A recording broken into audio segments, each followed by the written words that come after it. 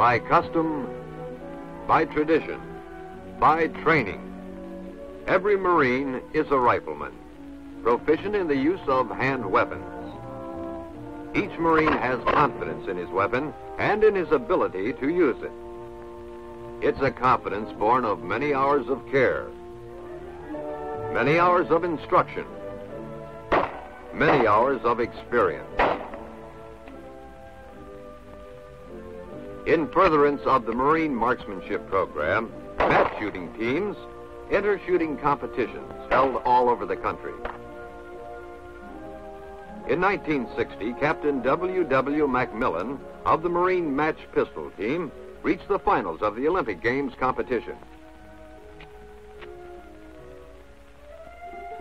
In Rome were assembled the best pistol shots in the world to compete for individual as well as national honor.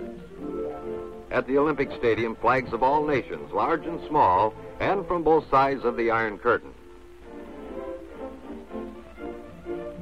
Rules of the competition are rigid. Each contestant feels the weight of tensions unlike those he has ever felt before.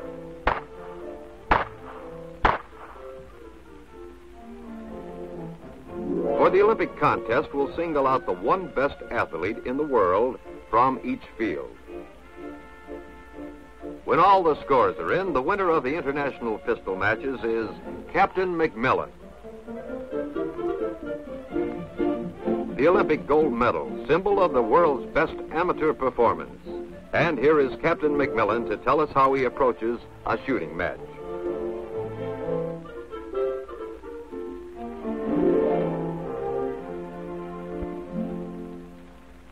Shooting matches are won or lost by scores made in offhand firing. Without proper support for the weapon, even the steadiest shooter is going to find his sights wavering off the target. The trick is to control the wavering, to be on target at the instant of firing. This control is especially important in pistol shooting, where every shot is from the offhand position. Personally, I find that when my groups are spread in a pistol match, it's because I fouled up on one of the basic fundamentals. Let me show you what I mean. This is Lance Corporal Stump, a Marine instructor at the Quantico firing range. He's going to demonstrate some of the traps that even expert shooters fall into so that we can see how important it is to stick to the fundamentals. First, the grip and stance.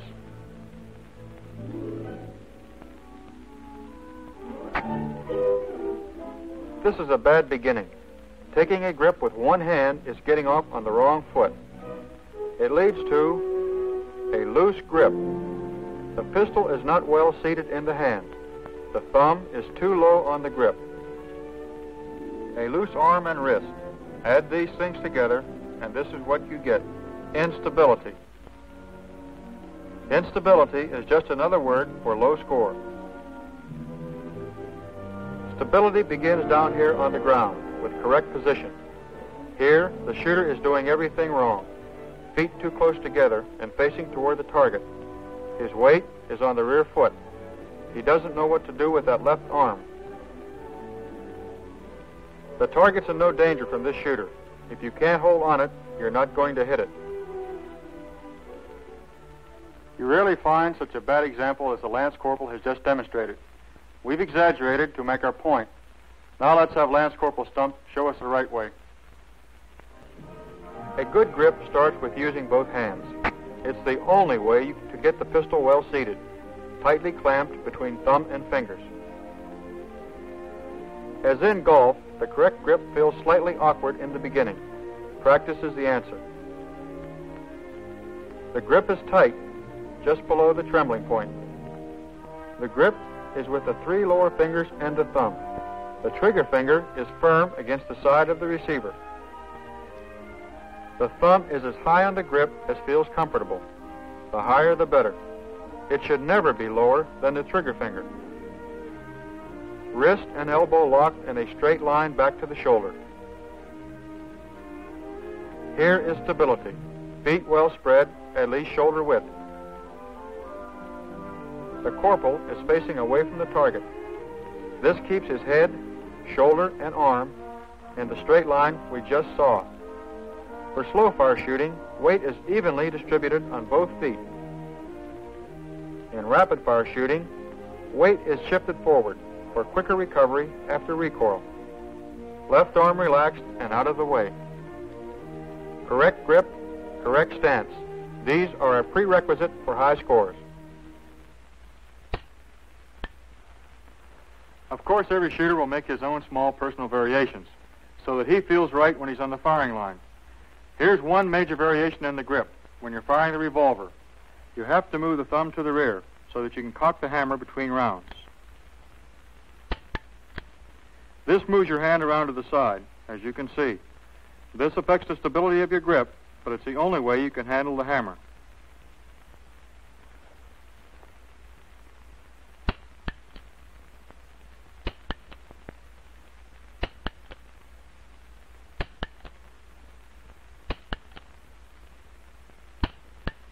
Incidentally, one of the personal variations I mentioned before is the way you doctor up your grips.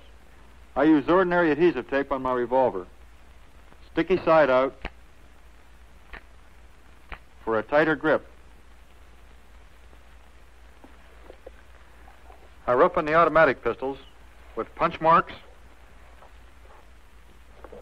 and carborundum. Again, for a solid, firm grip. Grip and stance give us the stability needed to hit the target.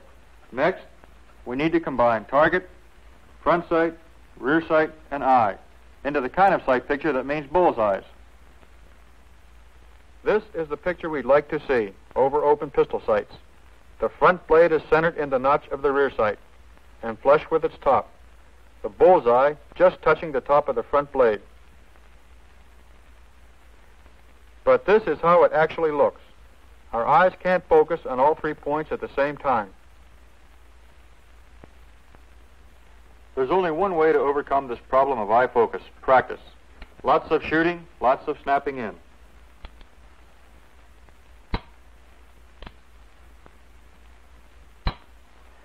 Snapping in is especially valuable because you can make dry runs almost any time, anywhere.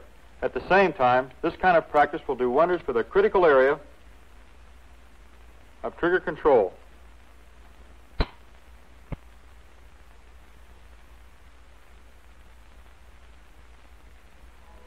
Here's what trigger control means to me.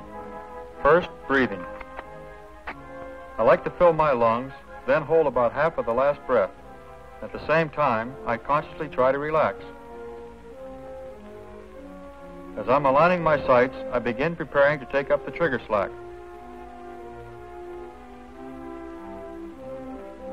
As soon as the sights are aligned, I get rid of all the slack and begin taking up the trigger weight. It's impossible not to waver off the target. When I do, I hold the pressure I've taken up until I'm back with the right sight picture. If I can't get off the shot within eight seconds, I quit and start over. After about eight seconds of concentration and breath holding, your pulse begins to pound enough to throw the shot off, and vision is affected too. Now I'll run up a string of five rounds and try to tie all of these things together.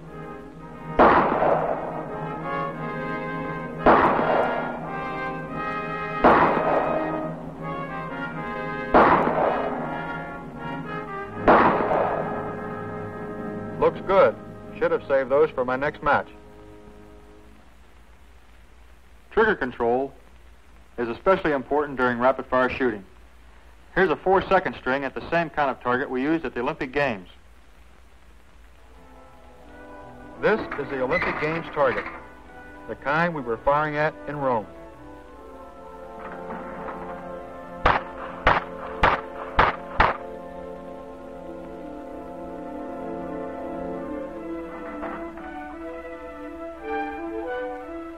Hitting any kind of target depends on these fundamentals.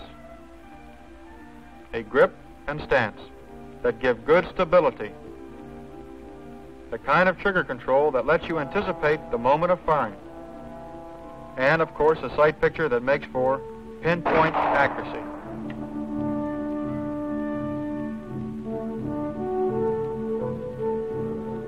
I use these fancy shots in teaching at the Marine Range to emphasize these fundamentals.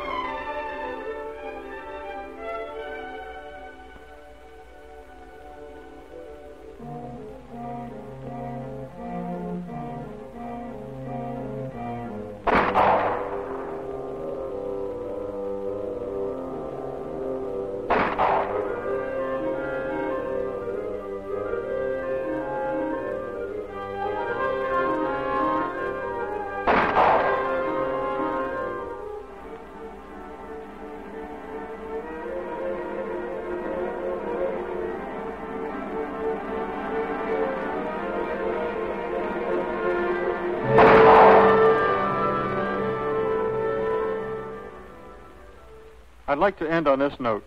We're all individuals. We can't be exactly alike. So in shooting, we all have our personal variations. This is fine. As long as we keep our stability, our sight alignment, and our trigger control. Here's a demonstration of what I mean. I'll vary from the standard procedure by using this diamond ring as a mirror.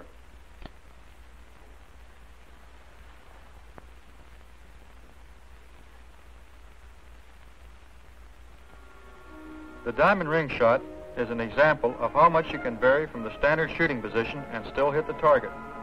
The ring serves as a mirror for lining up the sights as I shoot over my shoulder. But I'm still concentrating on those fundamentals, stability, sight alignment, and trigger control.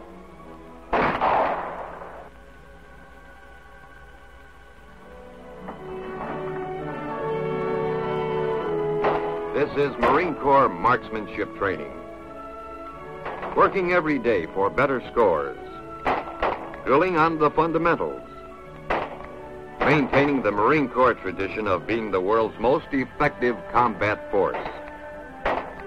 It does not bring an Olympic medal to every man.